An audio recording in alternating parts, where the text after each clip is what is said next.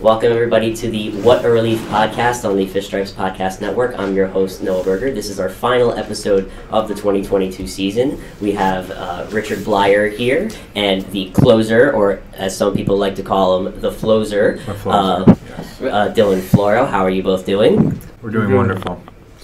All right. So Except for you. um, I'm going to start with, with Dylan. Um, this season started out a little bit later on for you. Uh, you had you started spring training uh, bit, a bit banged up. What what went on during Yeah. that time? What did go on? Uh, just I had was dealing with some shoulder stuff there again. I don't. It's been two years in a row now, so I don't. Just kind of dealing with that stuff. I mean, it's kind of hurt me the last two years. So going in, changing this whole off-season program, and mixing things up a little bit. So hopefully, I come to next spring training ready to go. What at what point in the season did you feel like you were back to like 100 percent? Uh, I'd probably say for sure, probably the last two or three months, two months, some two or three months, I probably where I got feel like I had the life of my four seam back at the top of the zone and just executing pitches night in and night out.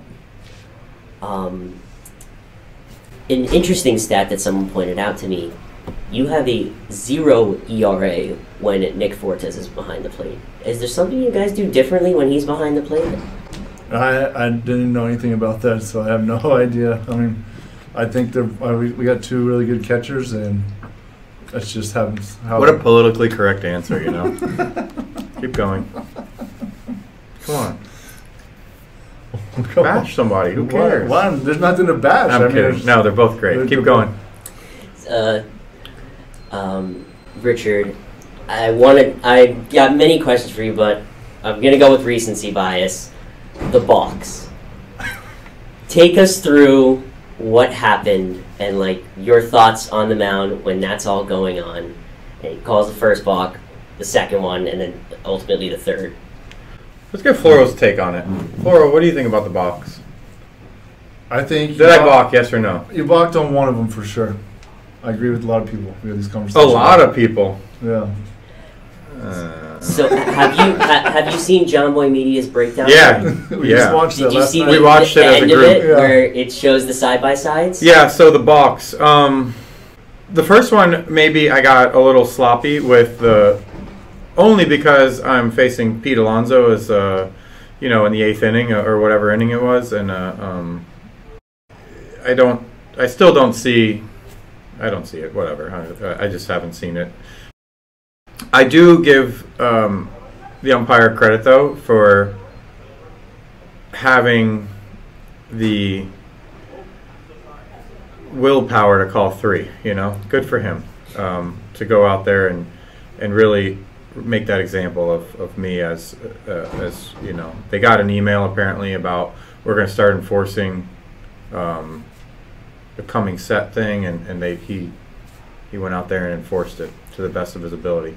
Did you get Did you get a chance to speak with uh, John Tumpane at any point afterward? So I pitched the next night, and he just came out there and, and said, um, "You know what we're looking for?" Said, yeah, yeah, fully aware of what, we're, what we got going on now.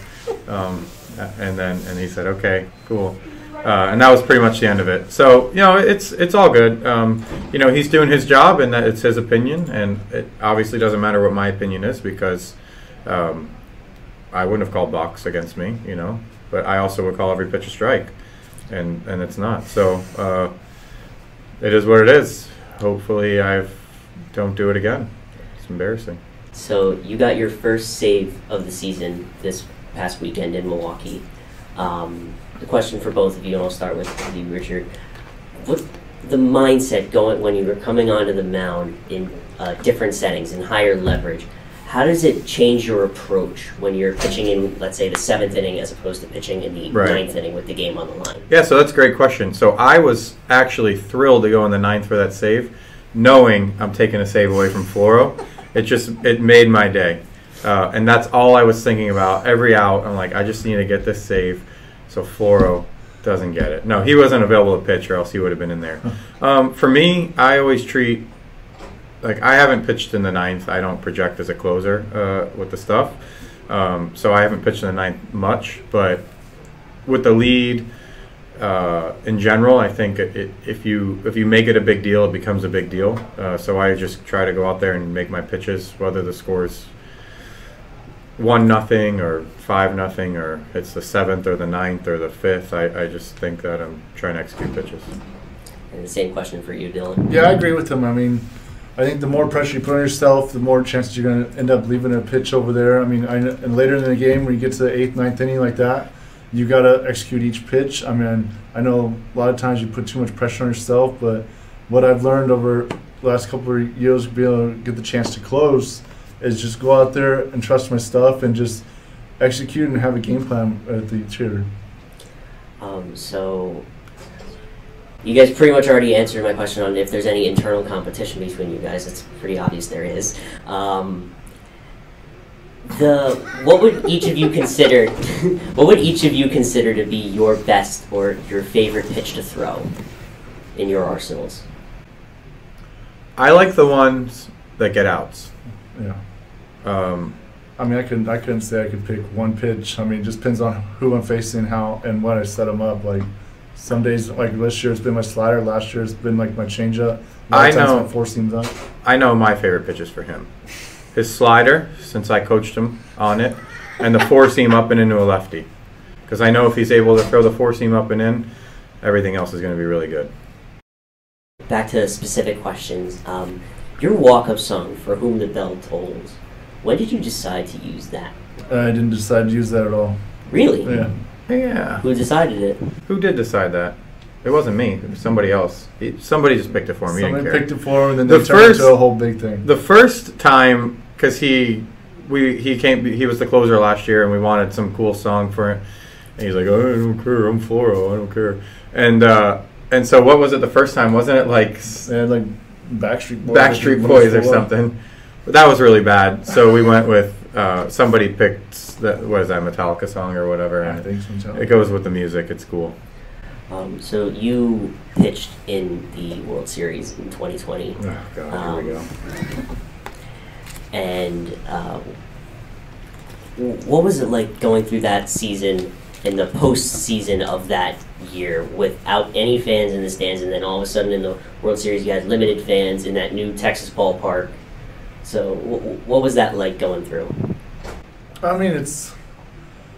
I mean, I got to taste a little bit of playoff stuff and like in 18 there, so I think it helped me prepare for a little bit going on 20. I mean, it definitely 18 to 20 when you have the fans and all and that stuff involved makes it feels like it's 10 times escalated what really is going on. I mean, it's still just a game we're playing here, and you got to go out there and execute a pitch.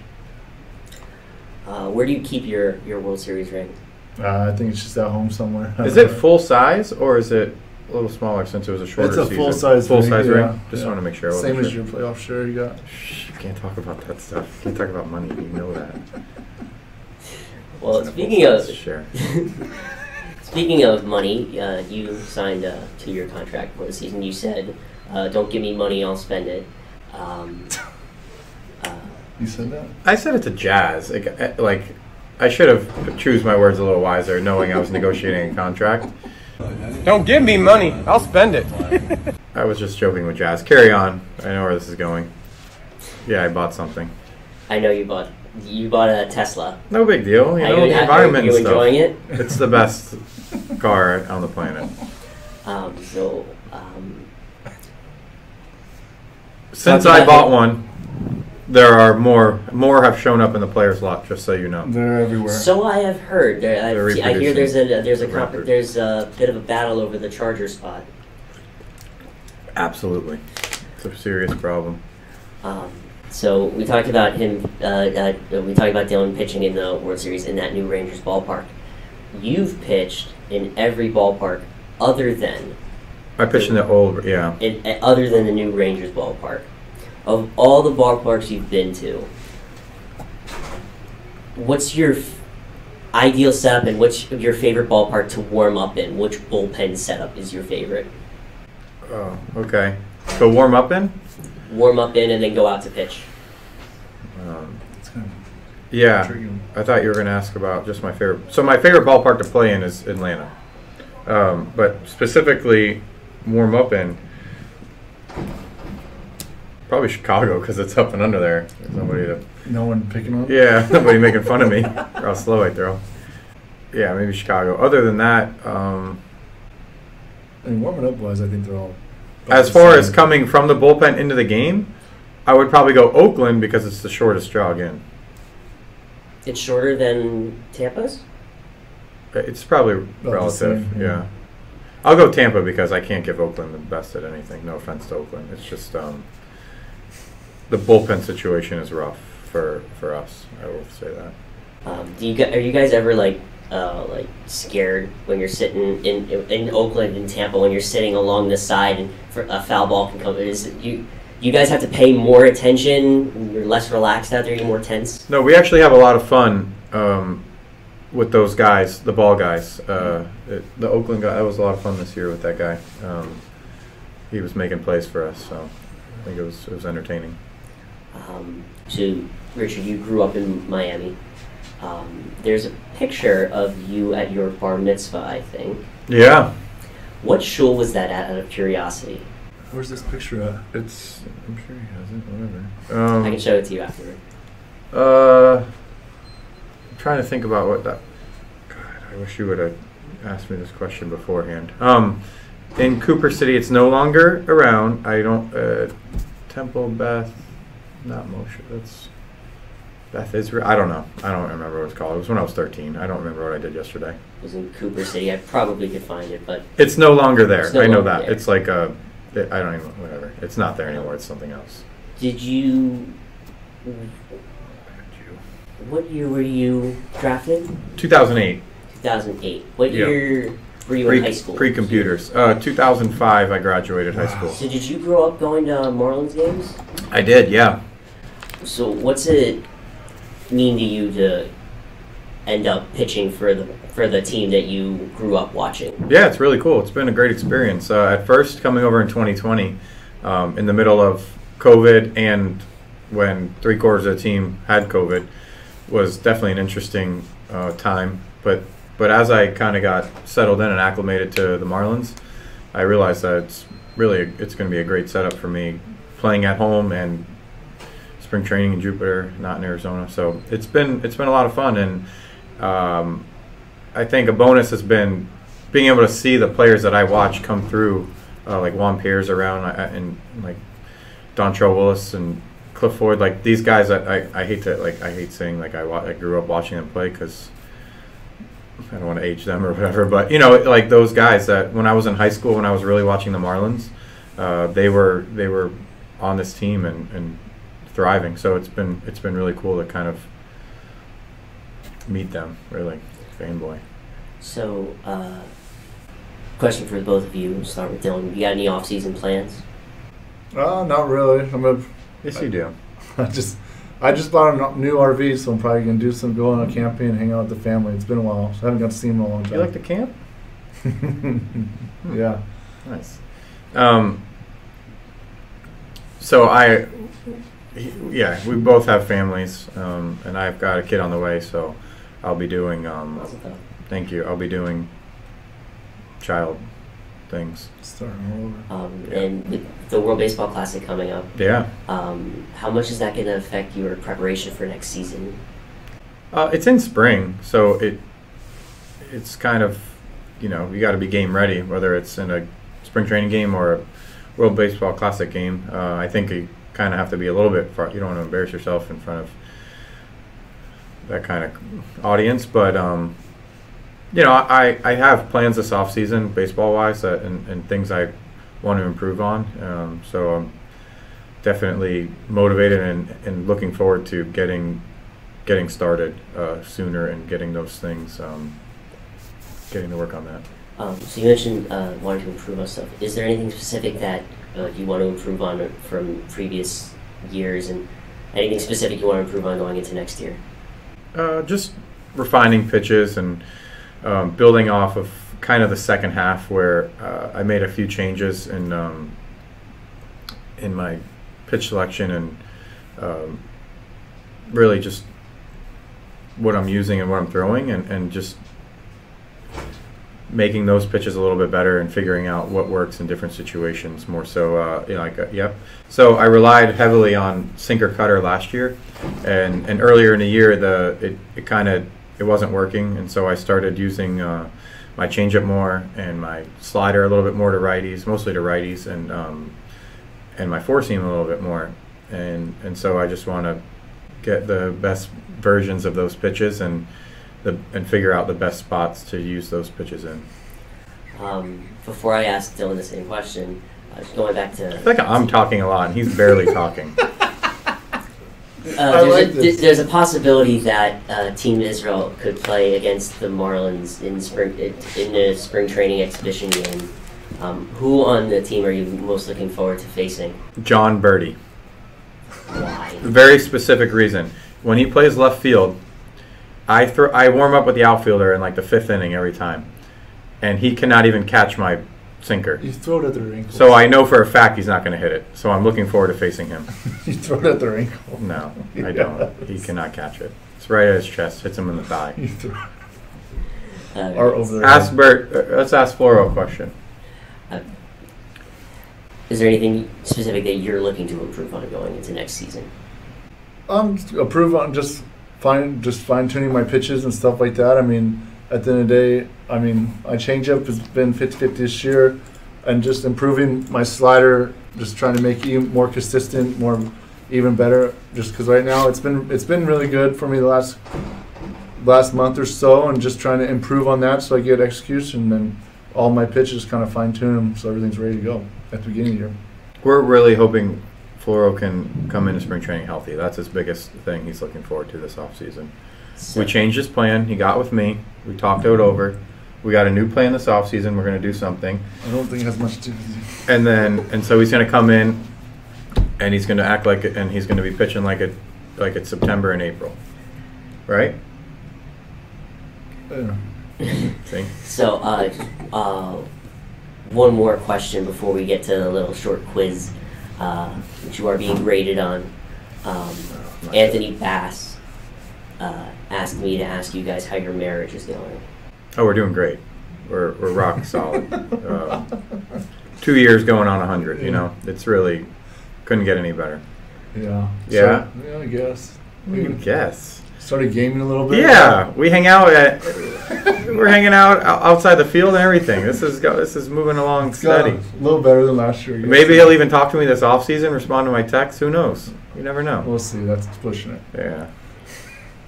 All right, so I have, I think it's nine questions, Oof. um, Wow. Oof. and it's based on your both of your careers because you guys have very similar career numbers. Oh, but I'm fail this one. Between the two of you, who do you think has pitched the most career innings? Oh, me for sure.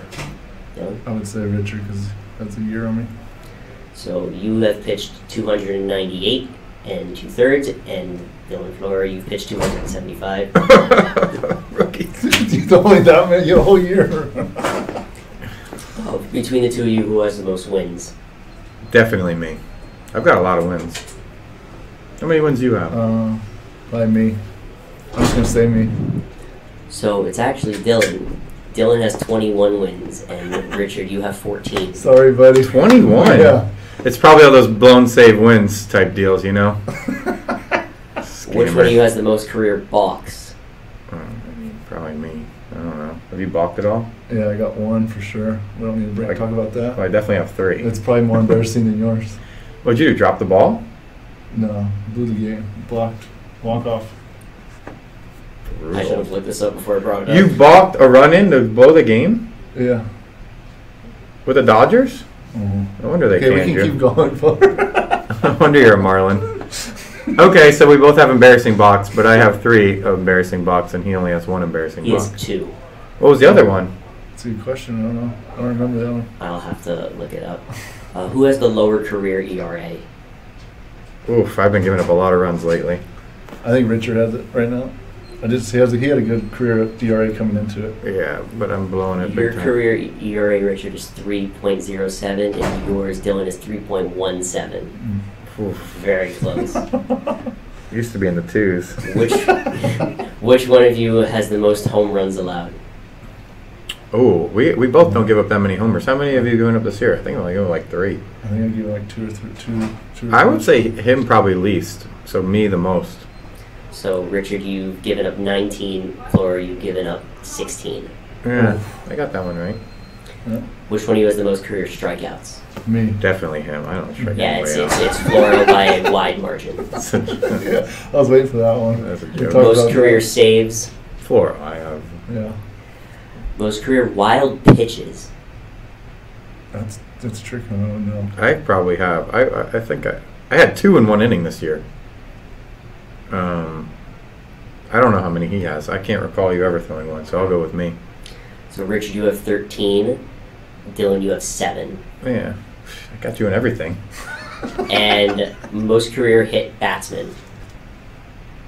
Oh, I hit a lot of people. I hit some people, probably me too.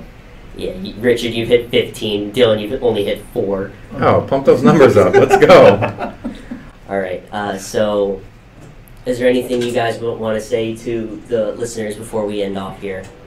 Um, yeah, we were trying to give a special shout out to Golly, our Marlins intern, who keeps um, interrupting this this podcast. She's doing great. She's eating. Um, what are you eating right now, Golly? Nothing. She's eating something right now. She's a sweetheart. She's doing a great job. Golly, we appreciate you. Nice Jewish girl. Oh my God. All right. Before either, before any of us get in any more trouble than we're already in, thank you everybody for that has listened to this throughout the season. Um, thank you to anyone who's listening now. Thank you to Fish Stripes for giving me the platform to do so. Thank you to the Marlins for giving me the access. Thank you to Richard and Dylan for coming on to this, even though they were about an hour late. Um, Bail on you the last time I'm all together. Sure we're supposed to do this like a week ago. I, I feel Hey, don't I- they bash us all the time, and we're still doing their podcast? Keep going. Um, this has been the What a Relief Podcast on the Fish Stripes Podcast Network. I'm your host, Noah Berger. Thank you very much. We will be back next season with more from the Marlins bullpen.